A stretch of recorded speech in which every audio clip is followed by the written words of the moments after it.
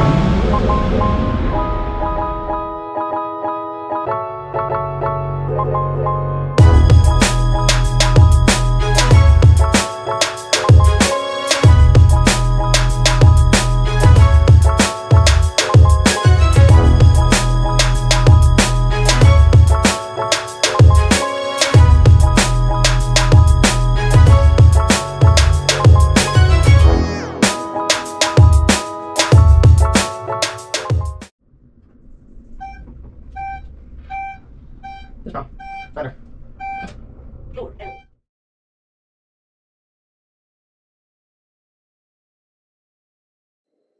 Hi, this is Atlanta International Airport, and this is my family at 5 o'clock in the morning. Hi, my name is Anton Wozniak, and today you'll be flying with us on Delta Airlines First Class from Atlanta, Georgia to the beautiful island of St. Martin in the Dutch Caribbean. This is my girlfriend, now fiance. After checking in at the international terminal, we went downstairs to catch the plane train over to Terminal E, where we would pick up our flight.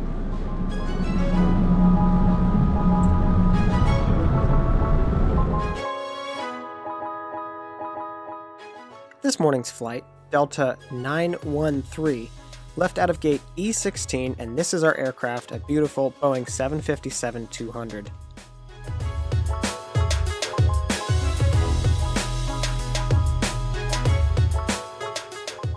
Today's flight would take us down the coast of Florida, across the Bahamas, and down the island chain to St. Martin.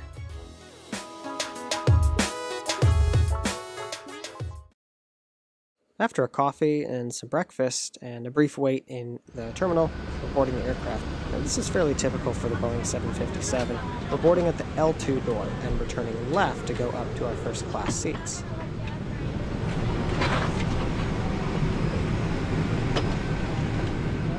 Now, today I got stuck with the aisle seat and Sydney got the window seat. This was only because on the last flight I got the window seat. Fair is fair, right? The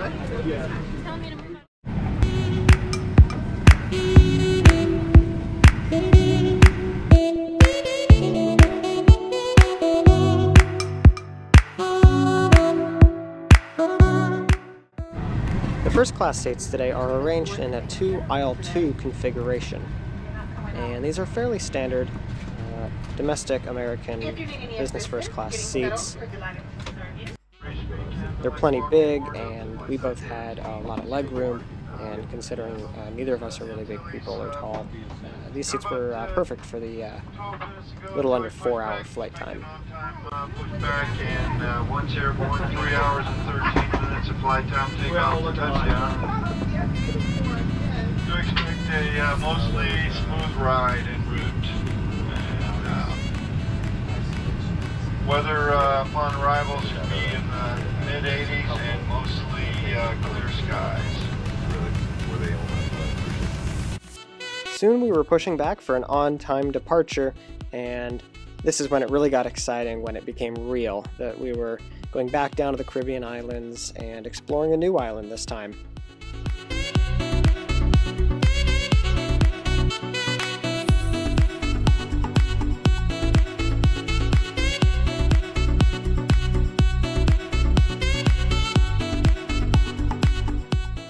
Today we're taking runway 27 left for a westerly departure and then swinging around down to the south to head towards the eastern Caribbean. Now that we're getting ready to take off, I suppose I'll shut up at this time and uh, leave you with the wonderful sounds of the Boeing 757 engine and my annoying in-person commentary that unfortunately I can't do anything about. No, the other landing on the other one. Well, it, it might have been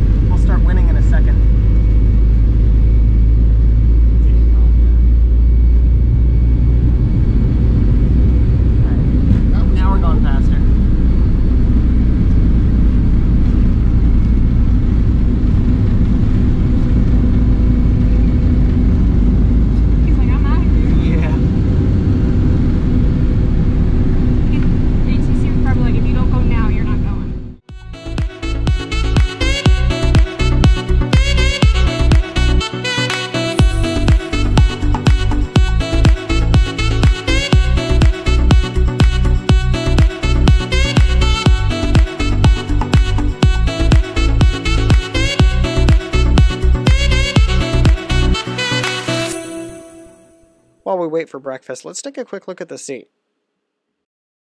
In the armrest, there's a small table for drinks. And the literature pocket is pretty big and stores a lot of different things. Plenty of legroom, except you can see I was a little annoyed with the IFE box right in the middle of my uh, footpath. The table comes down and is pretty sturdy. It slides forward and back.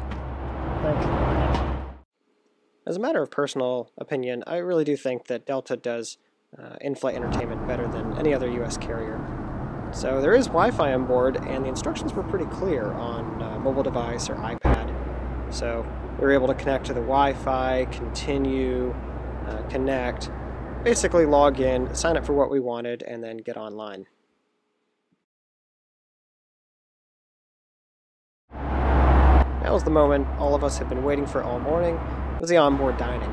And to be honest, I've had better, and I was a little disappointed in Delta this morning, especially coming from a hub city with uh, a good reputation for the catering. But this meal, it was advertised as a hot meal, and it was just cold and kind of uncooked, and the consistency just wasn't great. So it it didn't leave a good taste in my mouth.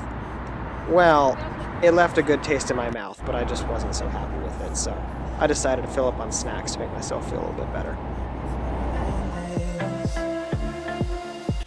don't be too offended. I have to leave. There's nothing for me, no. I'm not fitting in. I packed my things to go. Am I being naive? But it's my choice. To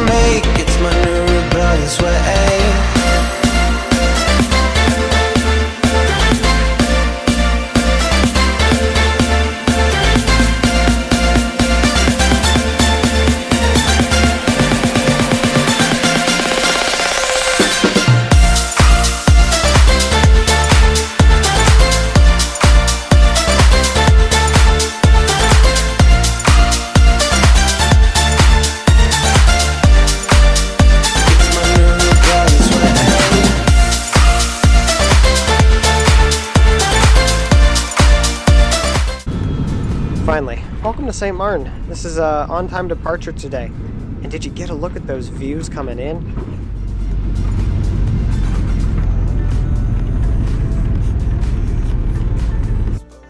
Overall, it was another great Delta experience, to be honest. I was a little disappointed with the food, but generally the flight was on time. The flight attendants were uh, super friendly, and really we were just so excited to be in St. Martin.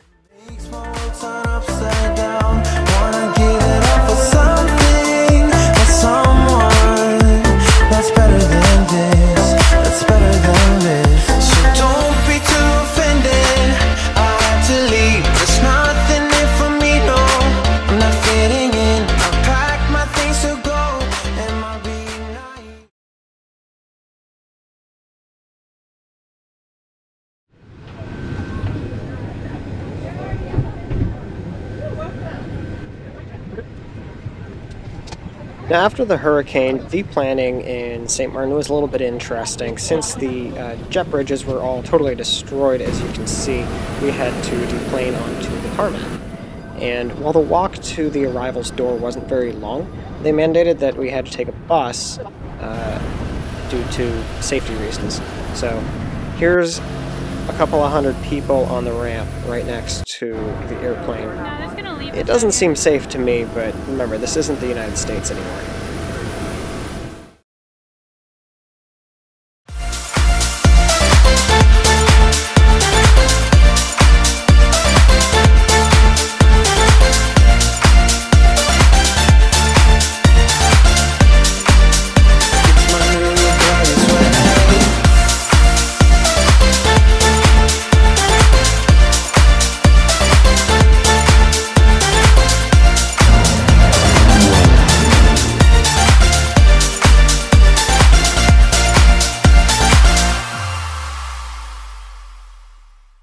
Guys, I hope you enjoyed that video. There was a couple of things that I wanted to mention. One, that is the first video, first of my travel videos that I've done a voiceover for. So I hope to get better as I produce more of them.